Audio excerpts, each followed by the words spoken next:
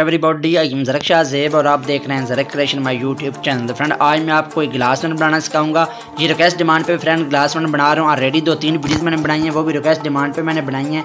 तो यार video and तक ज़रूर देख करें और लाइक में ज़रूर किया करें। चलिए आज का ट्रेल स्टार्ट करते हैं। सबसे पहले आप स्लैब को ओपन करना जो कि ऑलरेडी में आ गया हूँ। यहाँ पर फ्रेंड आपने सिंपली नेम टाइप कर लेना। मैं लिखूँगा आकाश, ठीक है?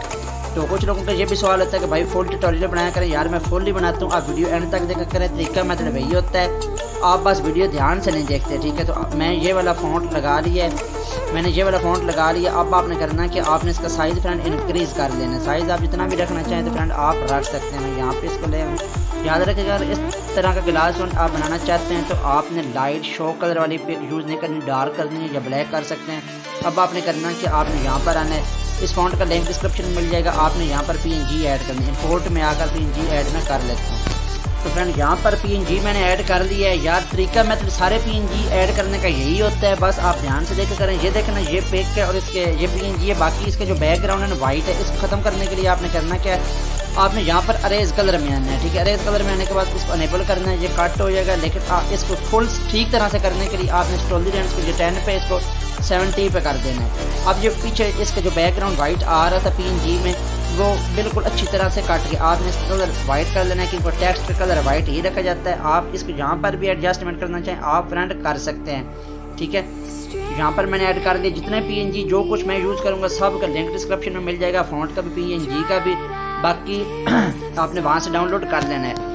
तो फ्रेंड यहाँ पर PNG मैंने इस पर ऐड कर ली है, ठीक है ये देखना। आप ये सारे PNG जो इनका लिंक डिस्क्रिप्शन में मिल जाएगा, आपने यहाँ पर आ जाना है, ठीक है, और इसका बैकग्राउंड फ्रेंड आपने यहाँ से ट्रांसपेरेंट कर देना है, ठीक है। ट्रांसपेरेंट करने के बाद आपने ये ऊपर कार्ड वाला ऑप्शन है, यहाँ पर आपने आ जाना है सेव एज इमेज पर क्लिक करना है, और नीचे एक्न पर क्लिक कर देना है। यहाँ पर आपने अल्ट्रा सेव टू गैलरी कर देना है अल्ट्रा रख के सेव टू गैलरी कर simply P S touch app में चले जाना है।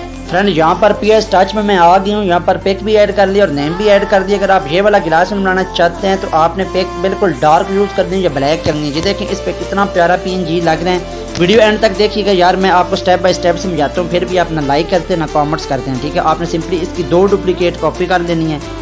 अब आपने फ्रेंड करना है कि आपने फ़र्स्ट लेयर को सिलेक्ट कर लेना आपने यहाँ पर आ जाना टू लाइंस पे, ठीक है? टू लाइंस पे आने के बाद आपने सिंपली करना है कि आपने इसको कर देना है इनवर्ट इन्वर्ट करेंगे तो ये ब्लैक हो जाएगा। अब आपने सिंपली फिर इसी लेयर को सिलेक्ट रखना है। अगेन आपने एफ़ एक्स में आना है।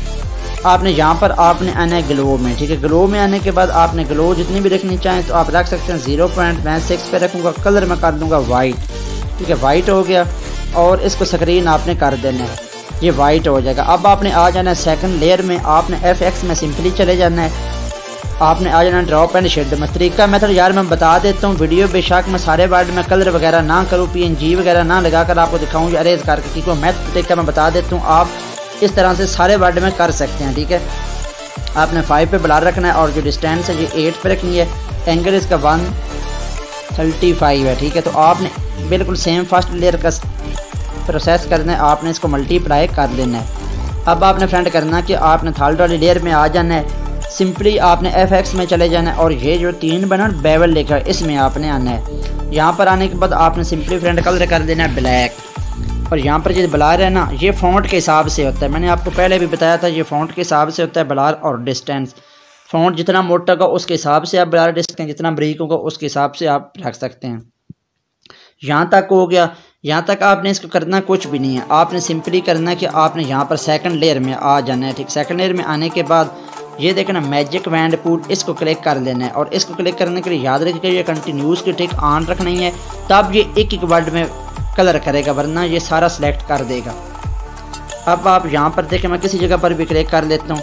यहाँ पर आज हम तीन तरह का ग्लास फ्रंट होगा, ठीक है? इसमें नॉइज़ भी होगा, बाकी हाफ़ टून पैटर्न भी होगा, और उसके अलावा फ़ील्ड कलर भी होगा। आपने यहाँ पर क्लिक किया। अब आपने नीचे आ जाना है, ठीक? ऊपर वाले पे क्लिक करके नीचे वाले पे आ जाना है। नीचे वाले पर आने के बाद आपने इधर आ जाना है। इधर आने के बाद आपने करना क्या है? आपने फिल एंड स्ट्रोक में आना है। और इस टाइप पे क्लिक करने के बाद आपने नॉइज़ पे क्लिक कर देना है, ठीक है? नॉइज़ पे क्लिक करने के बाद आपने कलर वाइट रख लेना है। कलर आप रेड भी रख सकते हैं, ज़रूरी नहीं आप वाइट रखें। ठीक है, यहाँ पे मैं वाइट ही रखूँगा और इसका जो बलार है ना, ये फ्रेंड आपने अमाउंट सॉरी बलार कह रहा हूँ। अमाउंट इसकी थर्टी फाइव पे करनी है। एक स्टेप तो हमारा मुकम्मल हो गया। अब आपने फिर इसी लेयर को सिलेक्ट करना है। एक हमारा जो है ना इफ़ेक्ट मुकम्मल हो गया। अब दूसरे की बात मैं कर रहा हूँ, ठीक है? तो अब आपने यहाँ पर क्लिक कर देना है, ठीक है? यहाँ पर क्लिक करने के बाद बिल्कुल यहाँ पर आपने आ जाना है। अब हम इस पर दूसरी इफ़ेक्ट लगाएँगे, ठीक है? एक मेथड हमने लगा लिया नोएज वाला। अब आपने करना क्या? आपने सिंपली टाइप क्लिक करना है फेल पे क्लिक करना है। कलर आपने रेड रख लेना है, ठीक है? ये फिल वाला भी काम मुकम्मल हो गया और नवेज वाला भी हो गया। ये दो काम हो गए, अब रह गया तीसरा काम, ठीक है? हाफ़ टून पैटर्न वाला, वो आपने करना क्या है? आपने इस लेयर को सिलेक्ट रखना है, ठीक है? आपने यहाँ पर क्लिक कर देना है और आपने सिंपली एफ़ एक्स में चले जाना है। एफ़ एक्स में जाने के बाद आपने स्टेलाइज में चले जाना है। स्टेलाइज में जाने के बाद आप यार ये ना सोचा करें कि बस आगे वर्ड में कोई डिफरेंट तरीका होता है मेथड तरीका यही होता है, जो मैंने आपको बता दिया, आप सारे वर्ड में यही काम कर सकते हैं, ठीक है? आपने आ जाना है हाफ़ टून पैटर्न में। यहाँ पर आपने करना कि आपने कलर जो वन है ना, इस पे आपने रख लेना येलो ठीक है? आप जो सेकंड कलर है ना, इस पर आप कोई भी कलर रखना चाहें तो फ्रेंड आप रख सकते हैं, ठीक है? मिसाल के तौर पर मैं ये वाला, इसमें कलर कौन सा रखूँ, कोई भी आप रखना चाहें तो फ्रेंड आप रख सकते हैं। मिसाल के तौर पर मैं रेड रख सकता हूँ, ठीक है? इसका साइज़ आपने थोड़ा सा इंक्रीज़ करना है। फिफ्टी पे आपने ट्वेंटी पे कर लेना है, ठीक है? यहाँ पर मैं इसका साइज़ जो है ट्वेंटी पे कर लेता हूँ। इसका एंगल अगर चेंज करना चाहें तो आप कर सकते हैं। इसका मैं एंगल जो है ना कम करूँगा फोर्टी फाइव पे। अब आपने इस पर तीन दफ़ा लगा देना हाफ़ मैंने दो दफ़ा हो गया और ये तीन दफ़ा हो गया। और जैसे एंगल करेंगे, वैसे ये बीच में जो डॉट्स आ रहे हैं ना, जल्द जल्द ये चेंज होते जाएँगे, ठीक है? जैसे भी आप रखना चाहें, आप रख सकते हैं। मुझे यहाँ पर ठीक लग रहा है फिफ्टी पे। तो अब आप यहाँ पर देखें तीनों काम इसमें हो गए।